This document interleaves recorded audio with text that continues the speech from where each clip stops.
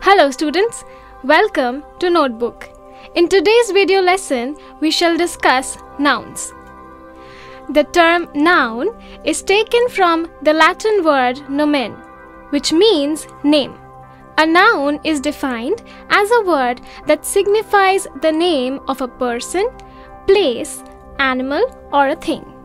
Examples Akriti is a gymnast. Name Jaipur is the capital of Rajasthan. Place I have two cats at home. Animal Maya is playing with her toy. Thing Nouns are of five kinds. These are proper noun, common noun, collective noun, material noun, and abstract noun.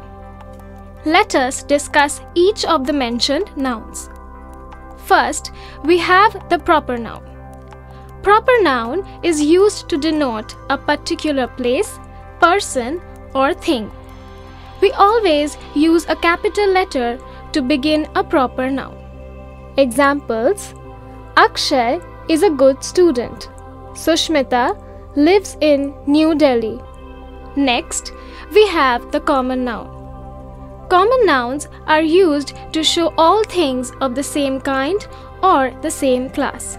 Examples book, girl. Examples of some sentences with common nouns are The boy is enjoying his food. Which book are you reading? Are you going to school tomorrow? Collective noun refers to a set or group of people, animals, or things. For example, a team of players.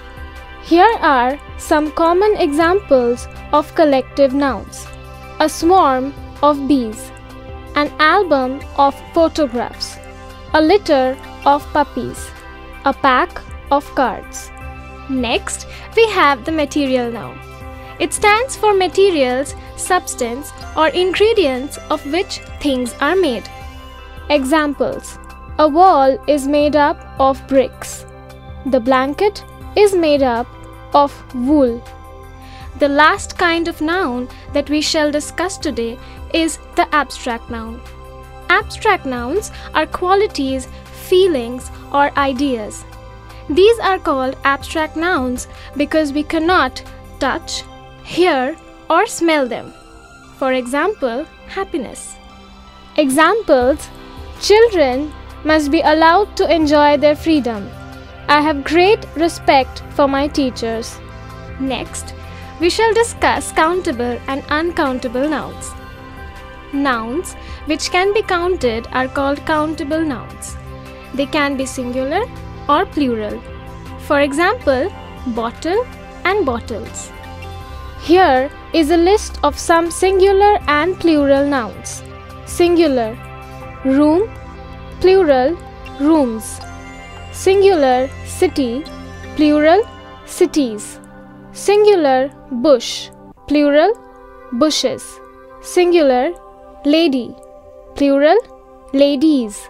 Singular story, plural stories.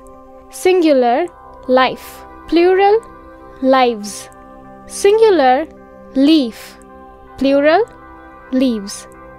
Notice how plurals are formed using s, es, or ies. Here's a little task for you. In your free time, try and find out the plural forms of any common noun that you find around you. We also have the uncountable nouns, which cannot be counted. Examples of such nouns are milk, oil, sugar, cloth, bread, etc. Let us now quickly go through some questions to revise what we have discussed so far. Question Underline the nouns in the sentences and state their type. A. Mohan was visiting a hill station for the first time. B. Imran was a good boy who liked to read books. C. I do not like to wear woolen clothes. D. We are going to visit Goa next month. E. Honesty is the best policy. Answer A. Mohan was visiting a hill station for the first time. Mohan, proper noun. Hill station, common noun. B. Imran was a good boy who liked to read books. Imran, proper noun. Boy, books, common nouns. C. I do not like to wear woolen clothes. Woolen, material noun. D. We are going to visit Goa next month. Goa, proper noun. E. Honesty is the best policy. Honesty, abstract noun. Question State whether the following are countable or uncountable. Oxygen, banana, history, ice, knowledge, air, chair. Answers Countable banana, chair. Uncountable oxygen, history, ice, knowledge, air. That's all for today's discussion. We hope this helps you understand nouns better. See you soon.